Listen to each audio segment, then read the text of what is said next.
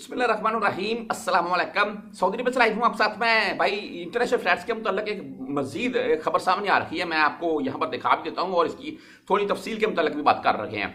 या तो आपके काम में छुट्टी बढ़ रहे हैं या आप इंटरनेशनल फ्लैट्स बहाल हो रही हैं। दोनों में से एक काम इन दो चार दिन में होने वाला है। ये कन्फर्म बात है। लेकिन अभी तक भाई इसके मतलब क्या कुछ सामने आ चुका है या नहीं आ चुका है?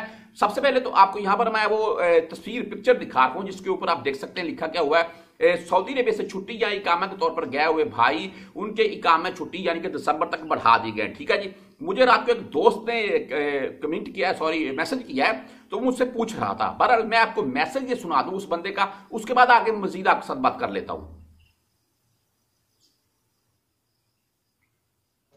उस्ताद मोहतरम, की हाल है? कैसी तबीयत है? उस्ताद जी एक खबर आई है। एक ट्रैवल एजेंट है, उन्हें लगाई है। ਤੇ ਮੈਂ ਕਿਹਾ ਭਾਈ ਕੋਲੋਂ ਪੁੱਛਿਆ ਇਹਦੇ 'ਚ ਕੋਈ ਸਦਾਕਤ ਹੈ? ਤੁਹਾਡੇ ਤੱਕ ਕੋਈ ਖਬਰ ਪਹੁੰਚੀ ਹੈ ਕਿ ਨਹੀਂ? ਅਗਰ ਨੋ ਨਹੀਂ ਪਹੁੰਚੀ ਤੇ ਇਹਦੇ ਬਾਰੇ ਕੋਈ ਕਰੋ ਹਾਂ ਕਨਫਰਮੇਸ਼ਨ ਜੀ ਆਪਨੇ ਮੈਸੇਜ ਸੁਣ ਲਿਆ बात आपको समझ आ चुकी होगी।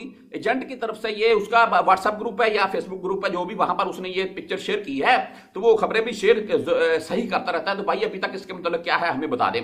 तो भाई, मैंने फ़ौरन फिर वो जो कन्फर्म जराए हैं, आप खुद से भी चेक कर सकते हैं। मैं आपको यहाँ पर बता भी दूँ वजारत दाखिलिया का पेज इनका।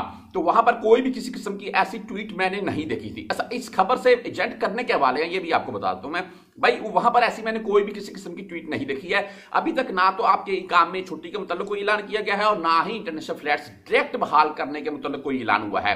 हाँ आने वाले दो चार दिन में या आज ही शाम को या रात को इसके मतलब कोई भाई ऐलान हो जाए, वो एक अलग से मामला है। लेकिन अभी तक कोई भी किसी किस्म का भाई इसके मतलब ऐलान नहीं है।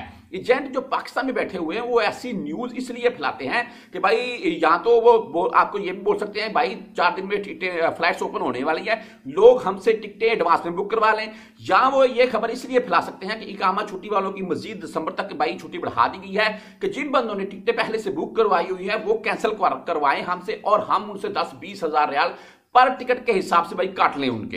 एजेंट पाकिस्तान में जो बैठे हुए हैं, वो ऐसे ही बंदों को भाई चूना लगा रहे हैं, जो सीधी सिंपल सी बात है। आप जब इंटरनेशनल फ्लैट्स बहाल हो जाए, उस टाइम टिकट खरीदिएगा। या आपके एक काम छुट्टी बढ़ जाए तो फिर तो आपको भाई बाद में ही खरीदनी पड़ेगी, ज़ाहिर सी बात है।